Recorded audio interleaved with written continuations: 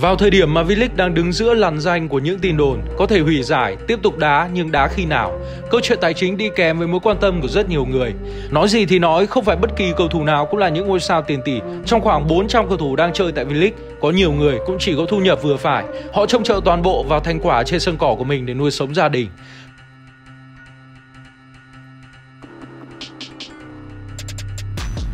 Dễ hiểu hơn một chút, nếu phân tích vào cơ cấu thu nhập của các cầu thủ có thể chia ra làm hai nhóm. Nhóm có thu nhập gián tiếp từ bóng đá, nhóm chỉ có thu nhập trực tiếp từ bóng đá. Nhóm có thu nhập gián tiếp bao gồm các tuyển thủ quốc gia, những cầu thủ được dư luận quan tâm và có nhiều hợp đồng quảng cáo. Nhóm này có nhiều cái tên nổi bật và thu nhập bên ngoài có thể còn cao hơn cả lương thưởng khi đá bóng. Đó là câu chuyện của những Quang Hải, Duy Mạnh, Đình Trọng, Quế Ngọc Hải, Công Phượng, Bùi Tiến Dũng. Có nhiều tin đồn rằng một bài quảng cáo trên trang cá nhân của Công Phượng có giá 140 triệu đồng, số khác ít hơn, dao động từ 60 đến 100 triệu, thậm chí tùy mặt hàng. Bởi vậy nếu khôn khéo giữ hình ảnh đảm bảo thành tích trên sân cỏ, việc sống khỏe và có nhiều khoản thặng dư gián tiếp từ bóng đá không phải là khó.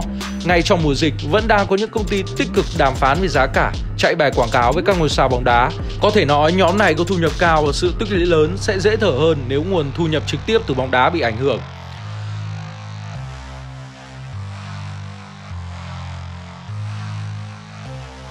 Trong nhóm còn lại có thể chia ra những cầu thủ có tên tuổi mức phí lót tay từ trung bình đến lớn và nhóm còn lại có mức phí lót tay thấp hoặc không có. Với các cầu thủ chỉ có thể trông chờ vào bóng đá, dù mức phí lót tay có trung bình đến khá, nếu mất tiền họ cũng sẽ khó tìm được nguồn thu bù vào, rõ ràng mức độ ảnh hưởng hiện hữu ngay trước mắt. Với nhóm có lót tay thấp hoặc không có, dĩ nhiên mức lương cũng không thể cao. Đương nhiên sự phụ thuộc vào thu nhập càng lớn, bất kỳ biến cố nào cũng có thể đẩy các cầu thủ tưởng chừng như ăn sung mặt sướng vào cảnh khốn khó. Thông thường, liên quan đến khoản phí lót tay này, các đội bóng sẽ chi trả làm hai đợt vào đầu mùa giải và trước giai đoạn lượt về. Thời điểm này khi lượt về còn chưa biết có đá hay không hoặc đá vào khi nào, nỗi lo về việc mất khoản lót tay đang hiển hiện trước mắt các cầu thủ.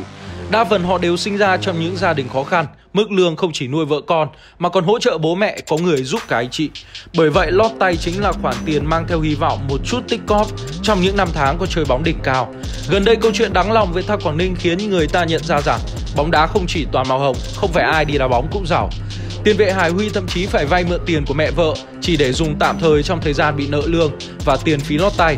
Tương tự như vậy, Hoa Hùng ngao ngán khi anh trở về Hà Nội với những khoản nợ.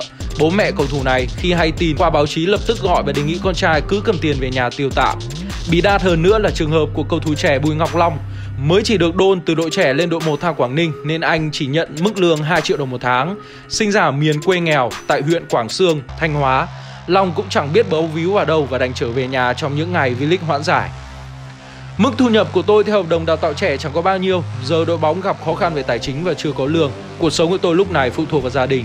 Chẳng có cách nào cả, không có lương thì vấn đề cá nhân cũng khó giải quyết, cần thì lại phải đi vay mượn, Bùi Ngọc Long buồn bã. Theo tiền vệ này, anh em cầu thủ có bảo ban nhau tìm công việc làm thêm như ở quê, công việc đều cần những người làm lâu dài. Ngọc Long cũng chỉ có thể đi phụ giúp phần nào theo họ hàng. Thời gian chính vẫn là giúp gia đình, ăn cơm mẹ nấu và tự tập luyện để duy trì thể lực.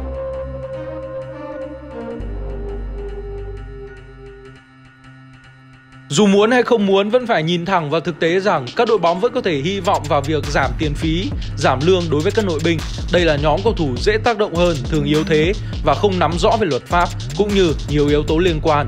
Dự kiến mức giảm sẽ rơi vào khoảng 20 đến 30% tùy vào tài chính của mỗi đội bóng cũng như thiện chí từ hai bên. Nhưng nếu nội binh có không đồng ý thì lãnh đạo câu lạc bộ cũng đừng trách họ. Thực tế một số đội bóng đã có nhiều điều khoản liên quan trong các trường hợp đặc biệt bất khả kháng như thiên tai, dịch bệnh. Tuy nhiên thực tế là giải đấu vẫn bị kéo dài chứ chưa hủy nên việc đàm phán này cần có thời gian. Thậm chí các đội bóng nếu không cẩn trọng còn có thể va vào kiện tụng với các ngoại bình. Nhiều đội bóng V-League xưa nay cũng bị xem là non khi làm việc với người nước ngoài, nhất là khi có ý định thanh lý hợp đồng bởi lý do ngoài chuyên môn hay vì chuyên môn đi nữa. Đặc biệt khoản phí lót tay cho ngoại binh thường được hiểu là chi phí cho các hợp đồng tìm kiếm cầu thủ với nhà môi giới, trong đó bao gồm cả giá trị cầu thủ. Những suy nghĩ nhằm không thanh toán khoản tiền này khi hợp đồng bất đắc dĩ phải kết thúc là nguồn cơn cho nhiều vụ kiện. Gần đây nhất, Bầu Đệ khi còn là lãnh đạo của câu lạc bộ Thanh Hóa dính phải vụ kiện rắc rối với tiền đạo Cisse. Cisse đến Thanh Hóa thử việc và ký hợp đồng đầu tháng 11 2019 với mức lương vào khoảng 8.500 USD mỗi tháng. Câu lạc bộ trả tiền lót tay cho Cisse là 85.000 đô la Mỹ mỗi mùa giải. Trả thành hai đợt kèm điều kiện câu lạc bộ Thanh Hóa đơn phương thanh lý hợp đồng với Cisse sau khi anh dính chấn thương trước thềm mùa giải 2020 Cầu thủ sinh năm 1990 kiện lên FIFA và được xử thắng kiện. Đại diện của tiền đạo Cisse cho biết CAS đã xử câu lạc bộ Thanh Hóa thua kiện. Đội bóng xứ Thanh phải trả cho cầu thủ người Senegal 58.420 USD. Sau đó, Thanh Hóa kháng cáo lên CIS. Do thua cuộc, đội bóng V-League vẫn phải trả tiền án phí lên tới 19.750 USD. Tổng thiệt hại của vụ này là 78.170 USD.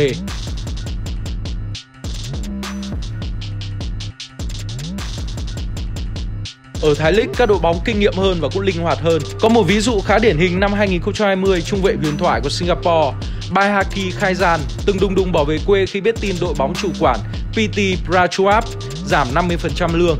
Cựu đội trưởng đội tuyển Singapore cho rằng mức giảm này là quá cao với người đã có gia đình và còn phải xa nhà như anh. Đương nhiên, câu lạc bộ cũng chẳng có cách nào khác ngoài việc đồng ý thành lý hợp đồng, chấp nhận mất cầu thủ và mất cả khoản phí lót tay đã trả hồi đầu mùa. Khi đó, Khai Gian đã ra sân ở Thái League cho PT Prachuap nên đội bóng này phải thanh toán là điều hiển nhiên.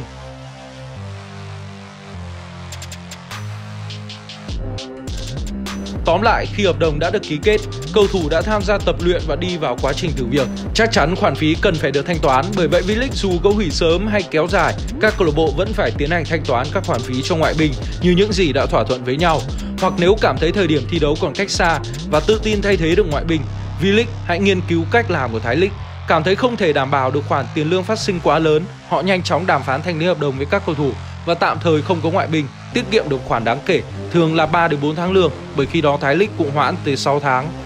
Trong khi đó, câu lạc bộ khác có tiềm lực hơn thì có thêm sự lựa chọn. Họ ký những hợp đồng để giữ chân cầu thủ, đặt cọc một khoản phí và chấp nhận để cầu thủ về quê. Bởi vậy 6 tháng sẽ là thử thách sức mạnh về tài chính. Hoặc với các đội bóng con nhà nghèo thì là sự linh hoạt trong chi tiêu. Mới đây VFF cho thấy sự quyết tâm khi họ trình kế hoạch lên VFF về phương án tổ chức V-League.